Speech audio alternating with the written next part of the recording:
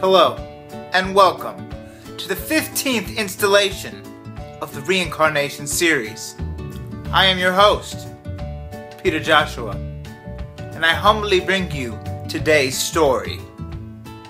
Now, let me paint this scenario for you guys. Yesterday, I'm having a busy day, couple meetings, getting things out of the way for some websites I had to put together, and then I go to work out. I work out for as long as I can before I have to, you know, be on call, get back to my place, and meet up with some friends to go out and hang out a little bit. So, I get about an hour and 15 minutes into my workout. Not bad, not the best, but not bad. Get back to my place, meet up with my friends. Now, I'm like, hey, you guys, um, I'm just gonna make a quick juice, not gonna take too long.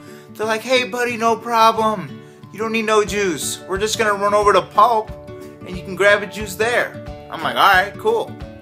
So we go over to Pulp. I, you know, we walk in, start placing our orders. You know, they're ordering wraps, they're ordering smoothies and stuff. And I'm like, hey, um, let me get one of your guava burners. It says it's a fat burning, you know, smoothie or whatever. Real delicious looking. Great, sounds great. They whip it up for me. I drink it, man, super filling because I haven't really been drinking anything but juice, and this was a little bit, you know, more smoothie-ish. So I get back to my place, you know, whatever, finish my video, whatever, handle a couple things, bada bing, bada boom, bam. Moral of the story is I woke up this morning to go weigh in, and I didn't even lose 0.1 pounds. Not even a tenth of a pound. And so I'm a little skeptical at this point, like, man, how healthy could that guava burner have been? Because I know it wasn't the juices, and I worked out, so what's going on here? So just out of curiosity, I go on Pulp's website to see what's in the guava burner and stuff. And they had like ice cream in it, or sherbet, whatever it is, and a bunch of other stuff that was not the bee's knees.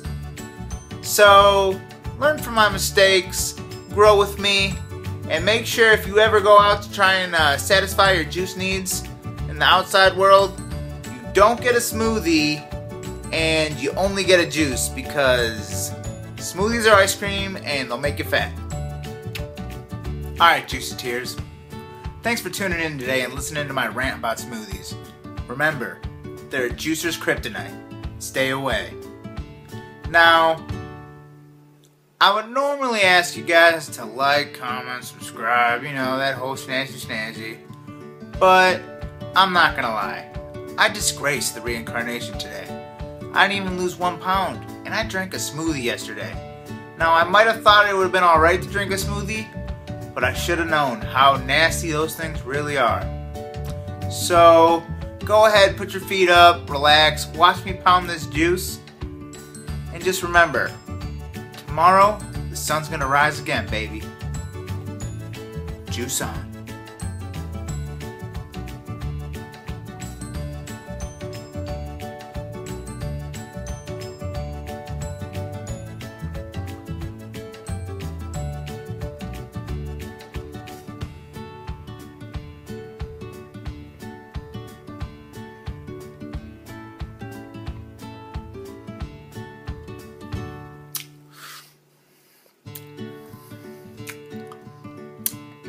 Freaking do delicious, baby.